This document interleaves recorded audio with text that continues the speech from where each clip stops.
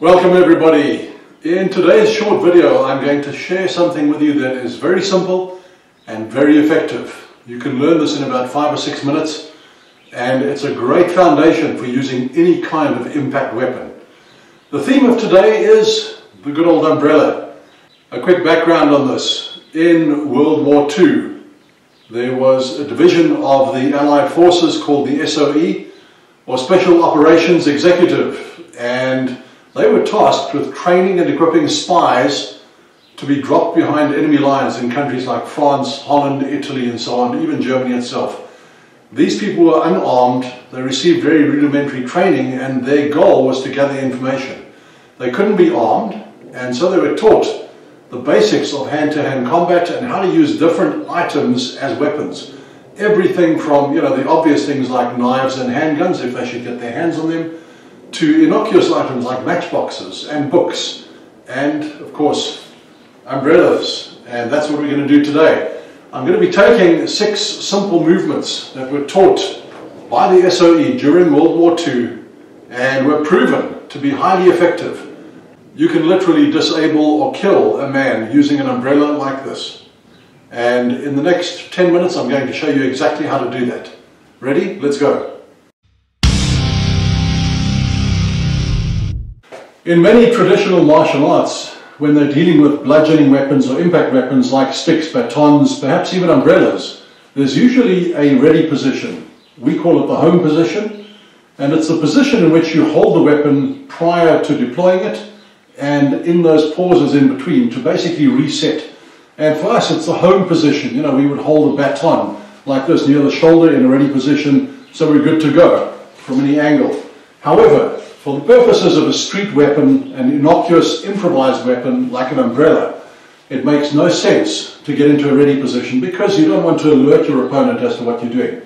So the start position when you're working with an umbrella for us is usually like this. It's simply held innocuously in front of the body in both hands like this. Alternatively, even at your side, like that, where you're just dangling the umbrella down, but very quickly you can bring it up from there and have it in the ready position and ready to attack. So let's jump right in. This is a six-step drill which you can learn very easily and there are two ways you can apply this. One is to apply it exactly as you learn it. Simply take these movements, string them together, go on the attack, and you will win.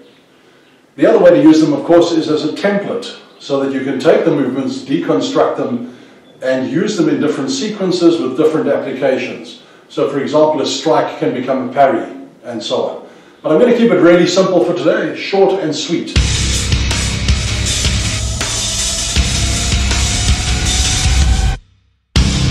From our ready or guard position, which is either here or down at your side, the first strike is very simple.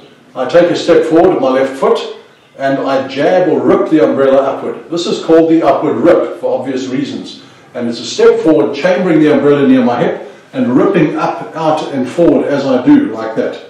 The goal is simply to strike your opponent anywhere in the throat, under the chin, uh, you know, base of the jawline and rip the head up and back. Depending on the type of umbrella, it may even be lethal, so you've got to be careful here, obviously. If it's an umbrella with a metal tip or spike, you could pierce the bottom of the jaw, drive right up into the brain and kill somebody. So do be careful with this. If it's something a little blunter and it has a plastic cap, well, it's going to give him a very nasty shock. Even if you don't catch the face or the chin, it causes him to recoil and his head moves back. So the movement is very simple. From here, I'm stepping forward, chambering it at my hip and jabbing straight up. And with practice, you want that to become one smooth, quick movement. I'm going to do it from the side. So from here, you're simply stepping forward or lunging forward and going like that, straight up under the jaw and ripping up into the face. Needless to say, this same movement can also be used as a parry. If somebody is, for example, at close range, stabbing a knife toward me, trying to grab me, uh, trying to hit me, then that upward movement can also be used as a parry. I simply change the trajectory. Instead of ripping straight up, I rip up, sidestep, and push like that in order to parry something to the side.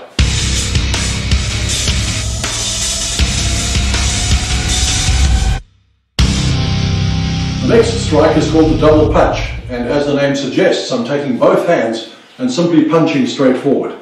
So from the upward rip, which I did first, I'm stepping in and rip up under the jaw, under the face. I pull this back to my chest to chamber it as far as possible, and from here I punch straight out. And the goal here is to smash it into the throat, the teeth, the nose, pretty much anywhere in the throat or face area. And the rationale behind that is when you rip up, somebody's hands are going to come up, their head is going to go back, and everything is open and available here. So from that position, you're simply rechambering, boom, and going straight into the face. Needless to say, you need to be advancing, almost darting into the person as you do this. I'm standing relatively still for the sake of the camera, but in reality, through this six movement sequence, you'd be advancing probably six feet on your opponent and driving home every strike as you move forward. The goal is to blast him back and stay on top of him as you go. So just to recap, we're stepping forward, doing the upward rip, pulling back, and jamming this straight into the face or the throat.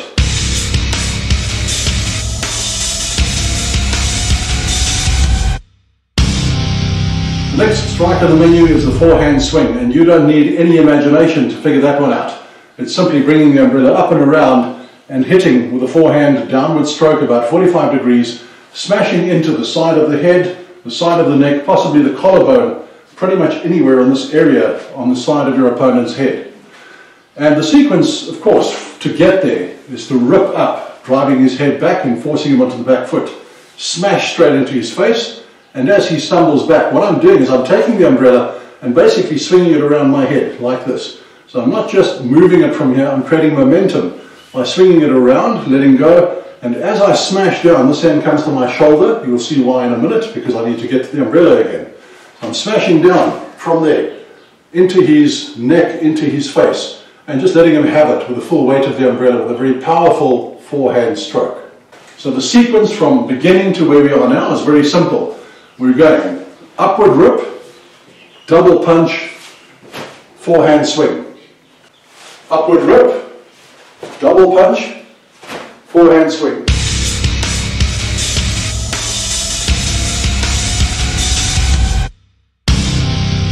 The next strike you're going to learn in this sequence is called the straight stab, and again it's pretty obvious what that is. You're just jabbing the umbrella straight into his midsection, aiming for the solar plexus, possibly the sternum, but softer tissue around the solar plexus or stomach, possibly even groin, is an option. If he's bent over or he's considerably shorter, you could also drive that into the face or the throat. Because you've ripped up, you've smashed into his throat, you've hit him with the umbrella, he's stumbling backward. And now I've got to go after him and drive home the attack. So from the end of the swing that I've just done, the forehand swing, from here I pull this back straight to my hip, as I'm drawing a bow, and as I do, my hand comes from my shoulder to find the umbrella right here. Notice my shoulders are shrugged, I'm in a predatorial stance, light on my toes, protecting my face as I move forward. And from here, I simply jab straight out, bang, using both hands like that. Think of a rifleman holding a rifle with a bayonet on the end of it. It's exactly the same movement. And that's why I was taught that way during World War II. This was a no-brainer. You were simply going boom, in like that, and so if you look at that from the side, essentially I've ripped up, double punched, done the forehand swing. From here it comes straight back and I just jab straight in.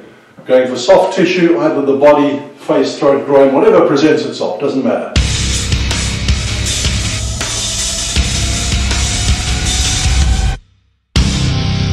And we have two simple movements left. So far we've done the upward rip, the double punch, the forehand swing, and the straight stab. From here, I'm going to deploy and use the back of the umbrella, the hilt, the handle. I'm going to take another slide forward, keeping my legs in the same configuration, my feet don't switch. And all I'm doing here is throwing this up and over, as though I'm throwing an elbow strike into somebody's face. The movement, the motion is the same, recruiting the hips, the momentum of the body, twisting right in. But the goal is to Think of hitting with the elbow, but what you're really doing is hitting with the butt or the hilt of the umbrella. It may be a hook like this, it doesn't really matter. It may be an umbrella that just has a straight pommel at the end. Whatever you're holding in your hand, you're thinking of smashing that and ripping right across and hitting the person across the face, across the head. It could be an outstretched arm, whatever presents itself. Don't worry too much about targeting. Just go for the soft stuff. So in sequence from the beginning, we're essentially going upward rip, double punch, forehand swing, straight stab, hilt strike, like that.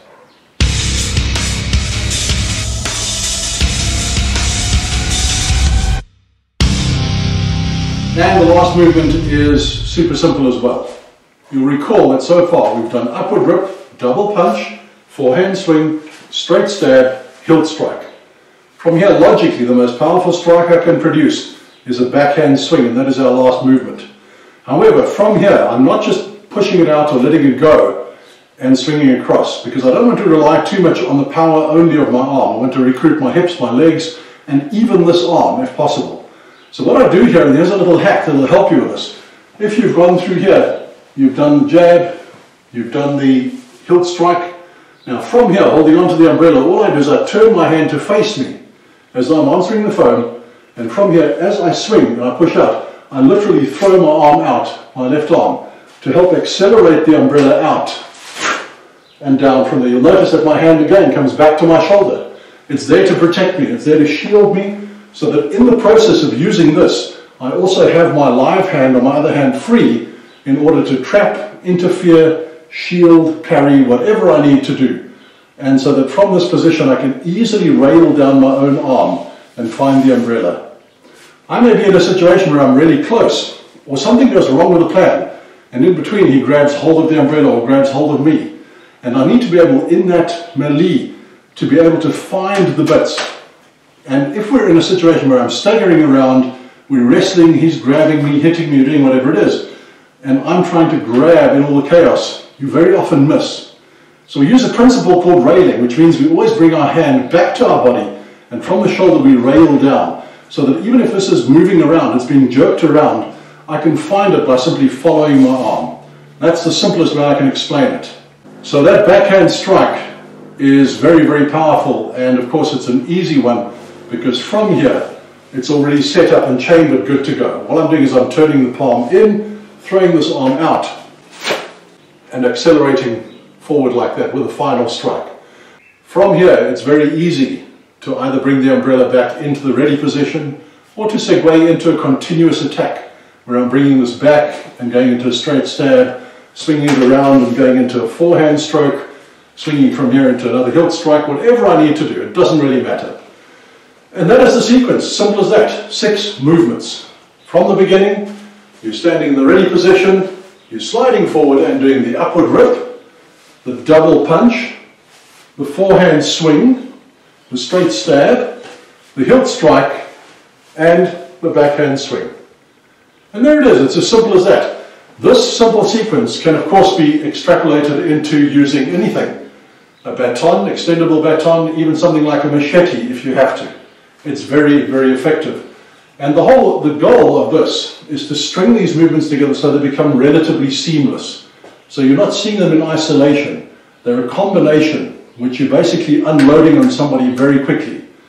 Even if only one or two of these get through, it's going to injure him and allow you to get away. Of course, guys, these six movements are extraordinarily basic. They are fundamental, they're very simple. You can learn them quickly and easily. And for that reason, they work. They're easily recalled under pressure, they're extremely powerful, and they, in most cases, recruit the power of your entire body. There are no fancy fencing movements, there are no twirls going on, or you know anything fancy where there is a possibility in a real fight of losing a weapon. Here we're sticking to the weapon, we're staying close, we're gluing to the opponent, and most importantly, guys, we're recruiting the movement of the hips the forward momentum, you're charging into your opponent.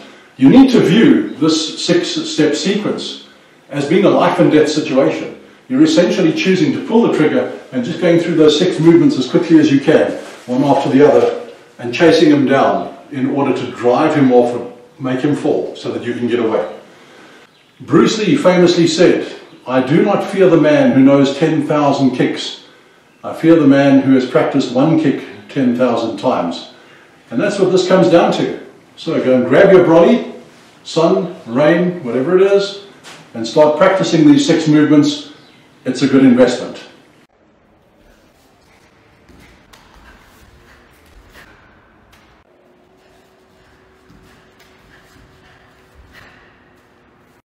Thank you everybody. See you in the next video.